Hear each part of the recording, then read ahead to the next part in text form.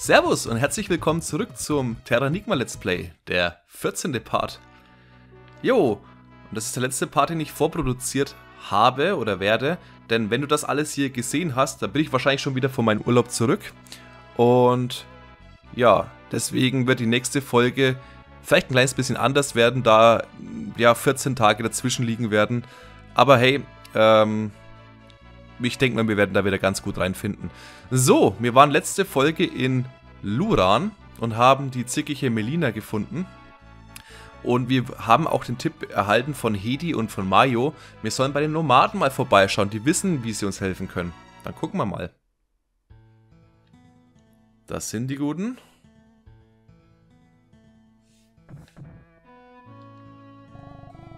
Was sagst du? Eine Nachricht von Mayo? Uns ist das Ketchup ausgegangen.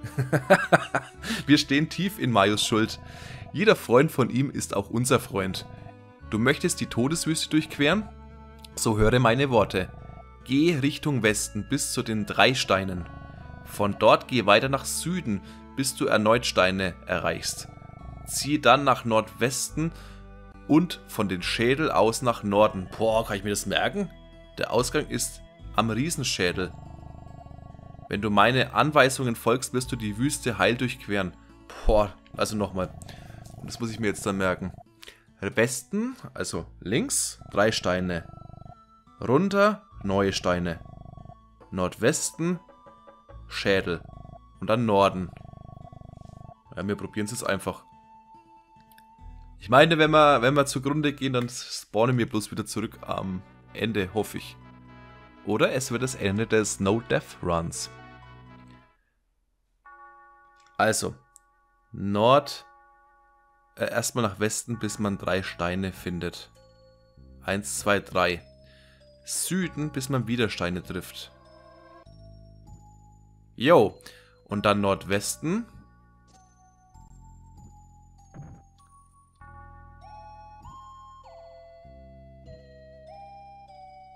Das scheiße so zu laufen.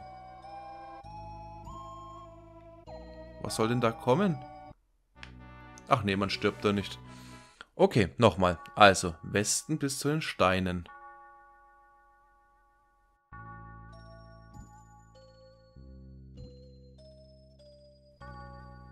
Süden bis zu den Steinen.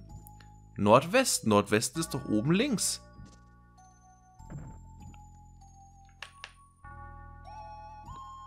Vielleicht habe ich auch nur hier irgendwas verpasst. Und dann nach Norden. Aber wann nach Norden?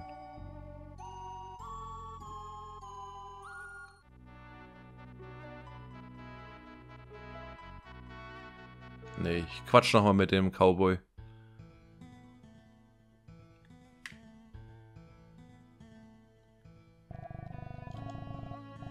Also, Richtung Westen bis zu den Steinen. Hat geklappt. Dann weiter nach Süden. Und erneut Steine. Haben wir auch. Zieh dann nach Nordwesten. Von dem Schädel aus nach Norden. Also ein Schädel muss da liegen. Nordwesten. Der Ausgang ist ein Riesenschädel. Hm. Also Nordwesten müssen wir einen Schädel finden. Ich habe nichts gesehen und wir sind doch Nordwesten gelaufen. Aber machen wir das halt nochmal. Wahrscheinlich haben wir das um einen Millimeter verfehlt und sind dann zu weit aus dem Screen gekommen.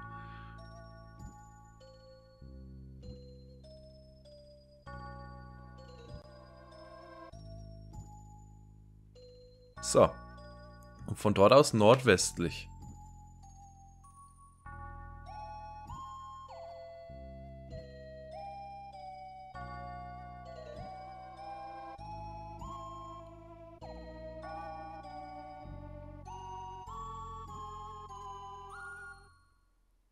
Suche mal das Gebiet hier ein bisschen großflächiger ab.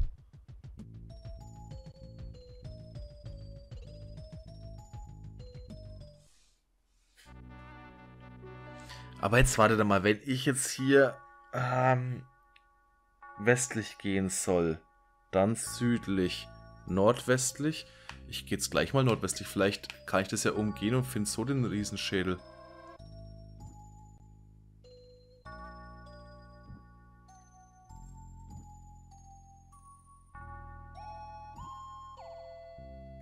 Also muss er mehr da oben sein, wenn es ja nochmal nördlich geht.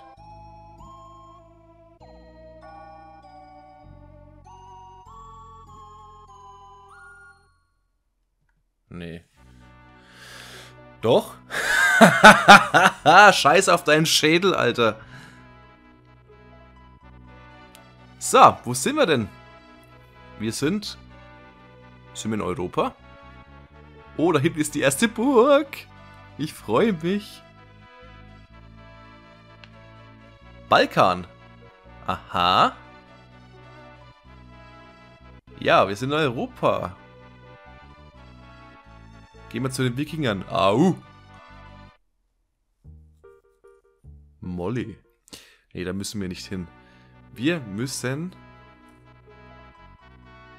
in ein schönes Land namens Frankreich. Genauer gesagt in die Stadt Loire. Und Loire, es ist eine fiktive Stadt und soll, glaube ich, so sämtliche Städte aus Frankreich repräsentieren. Und hier haben wir einiges zu tun. Zuerst würde ich sagen, quatschen wir mal mit dem Dulli hier. Du armer Teufel hast doch nicht vor, die Prinzessin zu heiraten. Haha, erspart dir das. Du wirst dich nur schrecklich blamieren. Ach ja, stimmt, da war ja was. Hier ist ein Wettbewerb, wer die Prinzessin heiraten kann. Hm.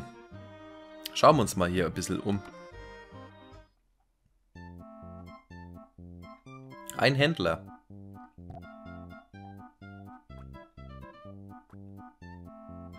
Uh, was ist das? Kaufen wir das? Das kaufen wir. Ich habe keine Ahnung, was es ist, aber schauen wir mal.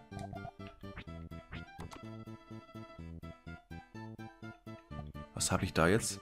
Silberspeer, perfekt. Der wird uns im nächsten Level sehr nützlich sein.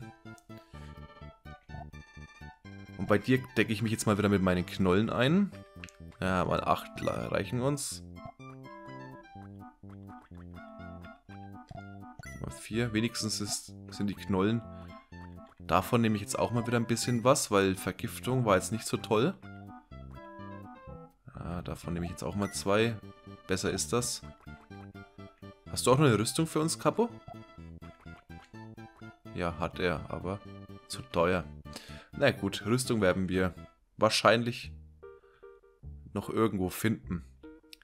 Was haben wir denn hier drinnen? Schau, Schwester, es ist Rob Wood. Nein. Das ist nicht Rob Wood. Tut mir leid, mein Bruder hat einen Fehler gemacht. Rob Wood ist ein Dieb, der dennoch, und aber dennoch hat er ein gutes Herz. Rob Wood nimmt es von den Reichen und gibt es den Armen. Rob wurde im Schloss gefangen genommen. Ich bin sehr besorgt. Na, kennt ihr den guten Mann? so, das meinte ich in der letzten Folge, das ist nicht die letzte prominente Person, die wir in dem Spiel treffen werden. Marcel. Hallo, willst du eines meiner Gemälde kaufen? Oh, nein? Später vielleicht, mein Guter. Und ab jetzt ist es der Teil, der mir am besten in dem Spiel gefällt einfach die Interaktion wieder mit den NPCs und ja, wir werden auch mal so die ein oder andere Nebenquest wahrscheinlich machen. Im Norfesterwald wohnt der Teufel, so sagt man. Jeder, der den Norfesterwald betritt, kommt nicht mehr heraus. Vielleicht sind die Gerüchte wahr, dass dort Geister herumspuken. Ja, geh mal davon aus. Ähm, was haben wir denn hier noch für Häuser? Ist hier kein Hotel oder sowas? Ah, sehr guter Mann hier, sehr guter Mann. Ich heiße Heinz. Ich beobachte die Entwicklung der Städte. Der König hat für diese Stadt sehr strenge Gesetze erlassen. Hier wird sich nichts ändern, solange, an dieser Politik, solange man diese Politik betreibt. Die Wachstumsrate dieser Stadt beträgt im Moment 0%. Ja, und das ist so ein kleiner Clou von Terranigma. Man kann hier Städte entwickeln später. Und das macht das Spiel nochmal so ein bisschen liebenswert, weil ja, wir sind nicht nur damit beschäftigt, die Erde zu retten und Tiere, Pflanzen, Menschen zurückzubringen, sondern auch die Menschheit zu entwickeln. Und da freue ich mich in einem späteren Abschnitt darauf, das zu machen. Willkommen in Lu Lucines Hotel. Wein für unseren Gast. Wir bieten dir exotische Musik und heiße Tänze.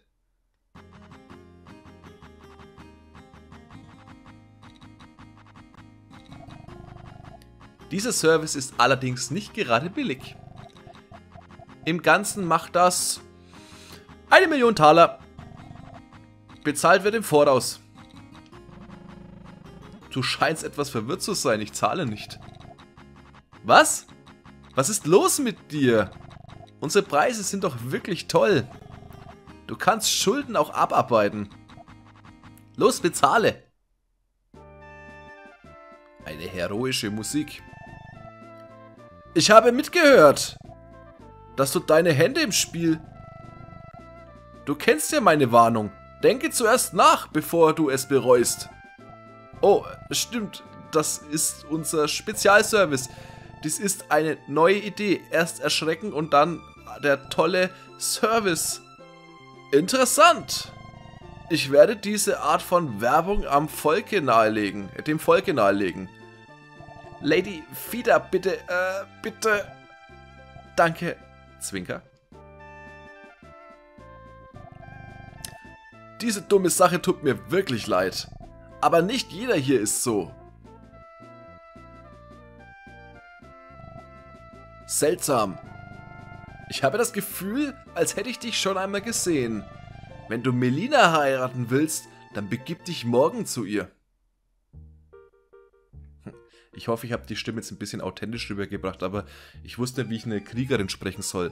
Ich habe vielleicht auch noch an Kati Kahnbauer äh, gedacht, so, Hallo, Frühstück für Kati. Aber das wäre wenig zu arg für meine Stimmbänder gewesen. Gut, es tut mir leid. Du kannst bleiben, solange du willst. Ich will meinen Kopf nicht an Lady Feeder verlieren. Erstmal was trinken. Hat er jetzt da hingekotzt? ja, echt, ne? Voll auf den Boden gekotzt. Gut. Ich würde sagen, diesen Service nutzen wir auch. Oh, hier ist auch ein Tintenfass für später. Da ist ein Hund.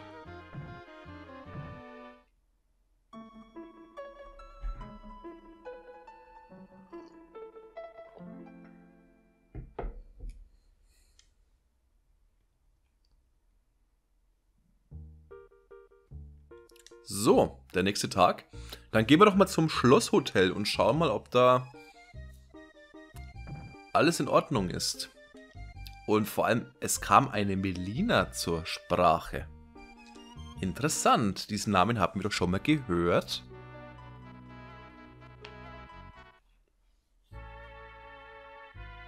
Ha, endlich Schlösser. Endlich Burgen.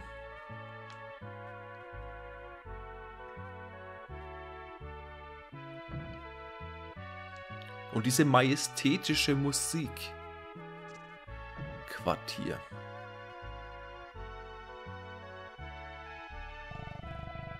Mein Fall ist die Prinzessin nicht. Sie benimmt sich wie, eine, wie ein Püppchen. Sie spricht kein Wort und ist total arrogant.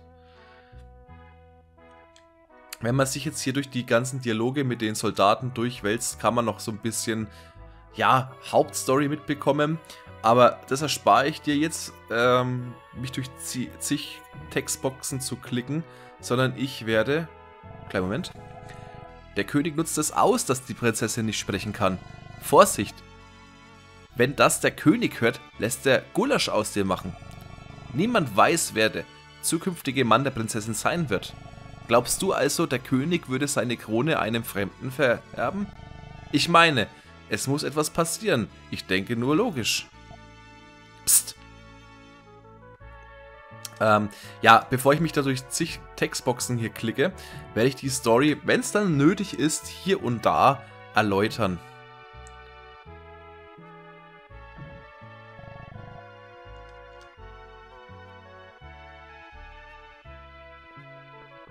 So, ich möchte mich jetzt aber zum Thronsaal begeben. Aber da sind wir anscheinend ganz falsch.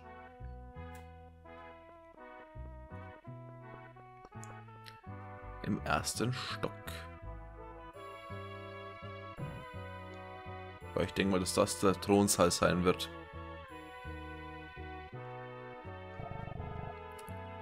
Bist du ein Hoch... Bist du ein Hochzeitskandidat? Ja, genau so. Sag mal, ist die Prinzessin eine hübsche Maus? Natürlich, sei still. Warte im rechten Zimmer, bis man dich ruft. Blödi, das ist das linke Zimmer. Du weißt doch, wo rechts so ist, oder? die finde ich so geil. Ah. Ja, ihr habt ja aber auch alle Chance mit euren Korthosen da, ihr Dullis. Wenn ich der Mann der Prinzessin werde, habe ich ausgesorgt. Geh mal davon aus. Ich, ver ich verliere nie, wenn es hart auf hart kommt. Hohohoho. Na, ich bin gespannt. Ist die Prinzessin hübsch? Ich hoffe es. Hallo? Es gibt auch andere wichtige Merkmale an einem Menschen außer Schönheit. Ein Mensch muss auch von innen schön sein. Naja. Hey Kleiner, du willst der Gemahl der Prinzessin werden? Hm, hübsch. Junge, hör mir mal gut zu. Du bist weder stark, noch klug und gut aussehend. Keine Chance. Bitte? Du meinst also, du bist perfekt? Genau. Schau nicht böse, es steht dir einfach nicht. Ich bin Roy. Die Prinzessin ist mir egal, aber ich liebe ihr Geld. Gegen mich bist du chancenlos, Hosenmatz. Hey! Mit, mit den goldenen Haaren hast du gute Chancen. Du bist der Erste, der sich der Prinzessin vorstellt. Tritt ein. Tja, nimm das, Roy.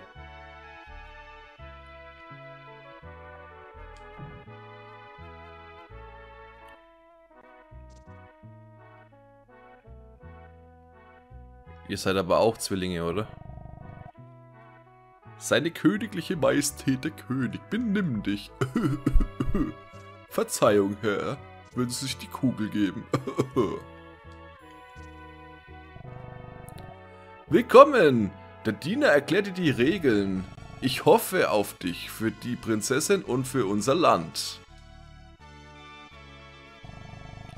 Da bist du. Oh, nein, falsche Stimme. Da bist du! Ah, scheiße, jetzt kriege ich die Stimme nicht mehr hin. ich lese ganz normal vor. Da bist du. Die Prinzessin ist zu bemitleiden. Hilf ihr, wenn du kannst.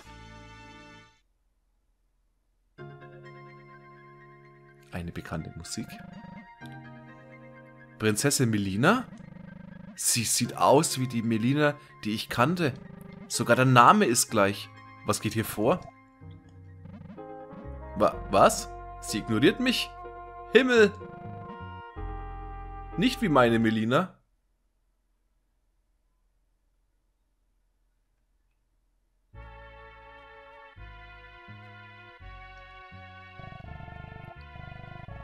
Hm.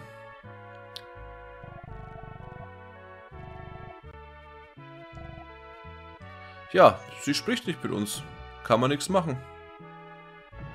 Also werden wir hier nicht das Königreich erben, Prinz, äh, Prinz werden oder später König, Melina heiraten und wir dann glücklich und zufrieden bis in alle Ewigkeit leben, bis dass das Brotmesser uns schneidet, äh, der Tod uns scheidet. Jo, was machen wir jetzt mit dem angefangenen Tag? Hm. Schauen wir mal, ob wir hier noch ein bisschen Schabernack treiben können.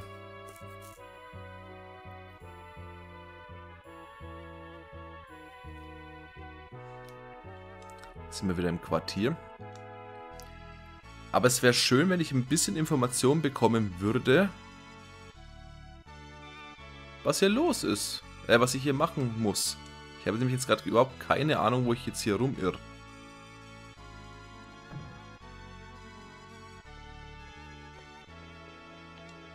Hm, Lager waren wir schon. Quatschen wir mal mit der Tussi hier. Sei vorsichtig, es wäre schlecht, wenn jemand etwas hineingäbe. Ah, ja. Ah, ja, stimmt, da war was. Aber muss ich das jetzt schon machen? Ich könnte aber auch nochmal versuchen, mit Roy zu reden.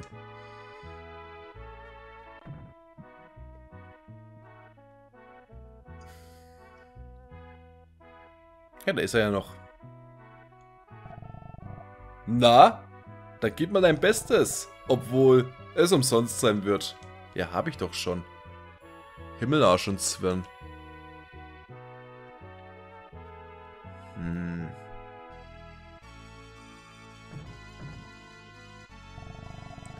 Der Bräutigam der Prinzessin wird nach den folgenden Regeln ausgewählt. Der zukünftige Ehemann sollte vom Alter der Prinze her zur Prinzessin passen. Ja, Gott sei Dank gibt ihr nicht so einen alten Tatterkreis. Ein schockierendes Ereignis ließ die Stimme der Prinzessin verstummen. Der König ist darüber sehr, sehr traurig. Derjenige, der die Prinzessin heilt, sollte Ehe, Ehe, Ehemann werden. Um die Prinzessin zu heilen, ist jeder Vorschlag willkommen. Alle Kandidaten stehen eine gewisse Zeit zu, ein Heilmittel zu finden. Verstanden? Nun, ich soll also ein Mittel gegen die Stummheit der Prinzessin finden. Genau, wenn du etwas entdeckst, gib sofort Bescheid. Okay. Tja, was machen wir denn jetzt? Hm.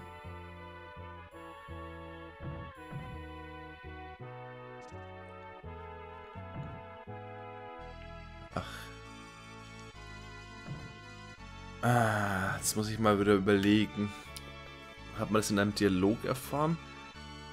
Schauen wir mal nochmal zu dem Quartier der Soldaten. Ich glaube, da könnten wir unter anderem... Da geht es ja auch nochmal rein. Ah, das ist der Kerker. Und wie wir wissen, ist ja der gute Rob Wood inhaftiert. Ist er das? Hey Leute, ich hätte ihn wenigstens grün anziehen können. Nur keine Angst, komm doch auf ein Schwätzchen rüber. Ich bin ein berühmter Dieb, aber verstehe das nicht falsch. Ich nehme nur von denen, die zu viel haben und verteile es gerecht.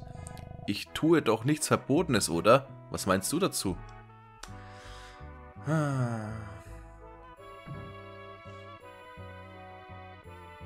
Ja, was machen wir denn jetzt? Schauen wir mal ein bisschen außerhalb rum.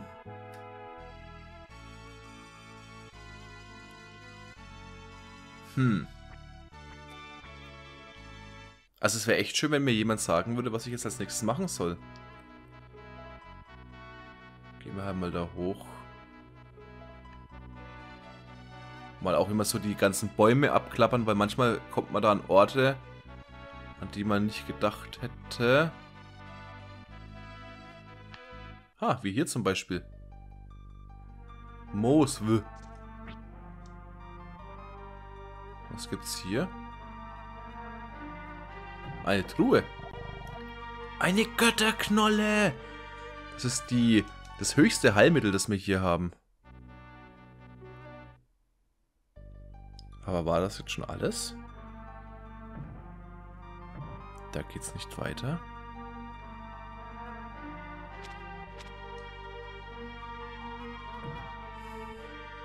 Hm. Scheinbar. War da noch was? Habe ich jetzt was verpasst?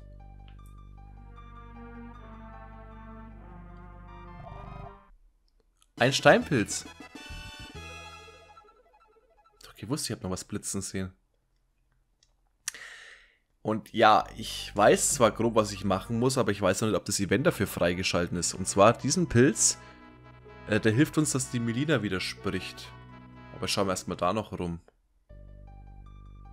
Noch fester. Das ist das nächste Dungeon, aber ich glaube, dafür ist es noch zu früh. Wo gehst du hin? Doch nicht etwa in den Wald? Hast du schon von den bösen Bewohnern des Waldes gehört?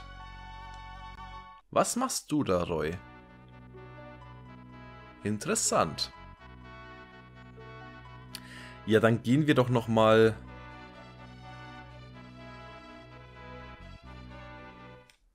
Hatte die Dienerin nicht gesagt, es wäre schlimm, wenn da etwas reinfallen würde in den Topf? Und genau dafür brauchen wir den Pilz nämlich. Ich hoffe bloß, ich kann das jetzt schon machen. Moment. Wählen wir das Ganze mal an. Steinpilz. Möchtest du das, möchtest du das auswählen? Natürlich möchte ich das.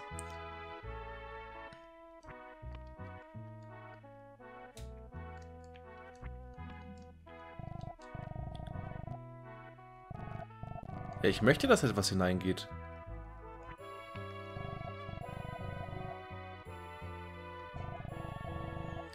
In diesen Topf koche ich das Essen für alle Schlossbewohner. Ja, nimm doch mal meinen Pilz an. Hier! Ich glaube, ich muss den Pilz noch verarbeiten, wenn mich nicht alles täuscht. Hm. Ja gut, ähm, war das hier mal eine sehr dialoglastige Folge und wenig Action, aber das ist auch in Ordnung, weil mir die letzten zwei, oder die allgemein die letzten Folgen eigentlich so fast nur am Kämpfen waren. Ich würde sagen, wir schauen uns in der nächsten Folge genauer hier den Ort an und vielleicht finden wir einen Weg, da diese, diesen Pilz zu verarbeiten. Und ja, es wird für mich jetzt erstmal ein bisschen dauern, bis ich weitermache, denn ich hau jetzt ab in den Urlaub. Und ja, du wirst ja sehen, ob ich halt zurückgekehrt wär, bin, wenn ja, es am nächsten Tag ein neues Video gibt. Aber ich bin jetzt mal guter Dinge. Und ja, wünsche dir alles Gute und bis morgen, hoffe ich.